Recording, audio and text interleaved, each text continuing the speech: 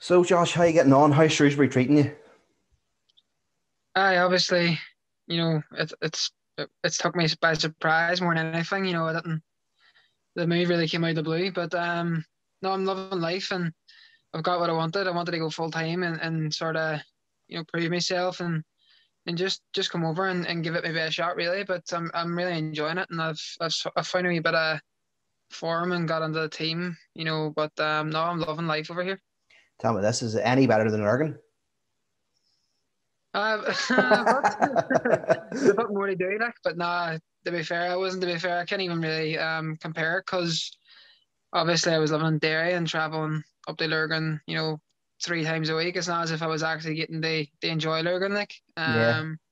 It's one of them things where it was sort of I was just passing by more than anything. I was just training and going straight home, but um, that's probably one thing that I've that I've would regret is probably not actually living closer to Lurgan and, and being able to take it on more because it was more of like a dive to get away um yeah. and get home early because we were training so late. But um no, it's, it's, it's a lovely place. Like it is, it's, it's a nice, it's a very nice place of the world over here. Like good, good. Um, what's it been like making the transition then to being a pro? Um, it's to be honest, the thing I was most concerned about when I came was fitness. Um, just just a fitness side. Obviously, with COVID as well, we weren't training. Um, with Glenavon regularly. We we I think I was off for like five or six months. Um, by the time I got here, so it was it was more thinking about the the fitness side of things that sort of scared me a wee bit. But you know, like anything, you, you work hard for a couple of weeks and you, you start to find that you're you're getting fitness. I'm fittest now than I've ever been in my whole career. Um, even being of Derry City and stuff when I was full time before, I was never this fit. Like I was always been like average and taking along, but I think I've surprised myself and I've surprised a lot of coaches over here as well with my fitness. And um, obviously I've been playing a new role, um, you know, as well, and and and a wing back, so I have to be fit. Yeah. But um, you know, it's just it's one of them things. It was you know the transition. I knew what they expect slightly with with Derry being full time before, so it was just it was it was the thought of the fitness thing sort of threw me. But now I've settled in and I'm I'm fittest now than I've ever been. So. Good man. Is there anything that's been particularly hard about it? I suppose movement or trying a new position has been quite tough, has it? Yeah, well, it wasn't. It's not actually just as like a wing back. Like, obviously, when I signed, I was signed as a left winger. That's where I played my whole career, basically, left wing and number ten, right wing. Um, when I came here, the first manager at the time, he Ricketts, he, I was playing as a number eight. I was playing as centre mid for for quite a few months. I was on the team, you know, as a centre mid, and you know, he told me he wanted me in that role, and, and I was like, right, I bought on it. So like, it was one of the things he let me know early that he wanted to play more centrally to get on the ball. So it was just, you know, another thing they work towards. Um, you know, trying to get into my head what I had to add in the game. You know, what like, things I had to do, and, and and cut out mistakes and stuff that I would have done as a winger, like ball carrying and and taking too many touches maybe. Mm-hmm. Um, and again now that he he's gone, so like the new manager came in, changed the system um, there's no, we don't play with wingers very often, like so it's it's basically a three-five-two with with the wing backs being a massive part of it, and it's just one of them things where I proved that I can do it. I have the, the energy to do it, and it's just trying to fit into it as a defensive, you know, side of things. That's that's what's probably catching me out most. But like I got on there and I think I played six games in a row this month. I started six games in a row um, at right wing back. So I'm getting used to it. I am getting used to it, but um, you know, it, that's probably been the most difficult thing taking that on. You know, tactically and and even physically, it's been it's been quite demanding. Yeah, and like as you say, you've played six games in a row now. You've got a couple of goals as well, I think, um, for them. So things must be going all right on the pitch anyway. Yeah, well, that's like I've been doing things well. Like you know, I'm doing. I feel like I'm sort of concentrating on doing a job at wing back because I know it's not my natural position. So I'm probably not playing as free as I would like. You know, I'm coming off thinking, oh, you know, I haven't bit as many people today. I haven't, you know, ran at people and created as much as I usually do when I'm playing left wing.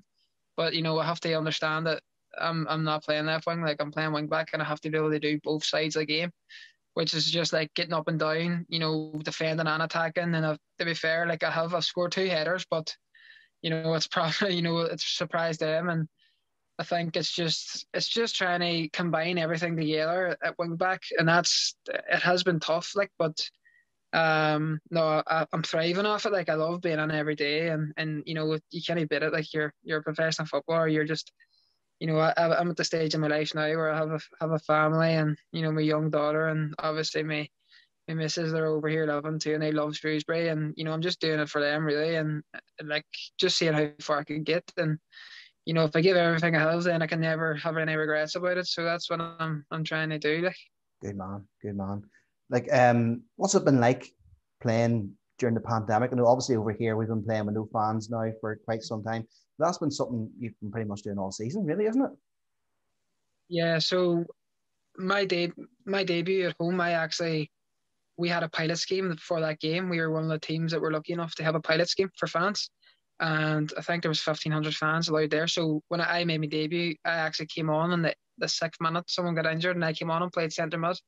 So like it was it was nice, you know. It was like you know yourself, like you're a football match, the fans make make the games. You know, they mm-hmm. give they give me an extra fifteen percent. I think like it's just it's one of them things. Even when you're wrecked and, and you hear the fans cheering you on, you just want to give extra. So it has been weird. Um, for someone like me coming over to such like you know big fan bases and stuff, it probably has helped me at the start. At the you know in the sense where it's probably not as much pressure as it, it would have been if the, the crowds were packed and they were on your back and you know coming in as an unknown player and you know a lot of people probably would have been getting on my back if I had made a mistake. You don't know, like yeah. you know the away fans giving you jip or you know anything like that. Like it's just it's it's a bit weird, but it makes football. It does make it like the fans make it, but um no, it's been a strange time. It just feels like you know obviously that there's no atmospheres. You can hear everything. The ref hears everything and you can't you can't get away with saying much to refs or anything like so. Um, you know, I'm sure it's the same for yourselves now. You know, when even not being able to go near the, the grounds and just watching it online, it's it's quite it's surreal, like, and especially at the minute because of COVID, we've been playing Saturday, Tuesday, Saturday, Tuesday for like a long, long period of time. So, mm-hmm. um, it's just it's been quite demanding as well.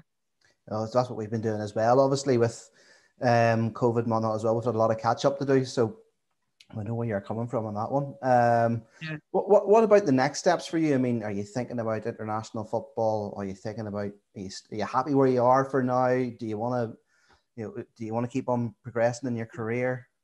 Well, I think, you know, everybody wants, I want to progress. That's, that's obviously, you know, what I'm about. I don't, I'm never usually happy in the one place, you know, ticking along. I don't want to just be, be here to make up numbers or, you know, I want to try and go as far as I can. And if this is as far as I can go, then so be it. Like I said before, it's it's basically down to me. I have all the platform and the tools now to go and, and try and achieve as much as I can.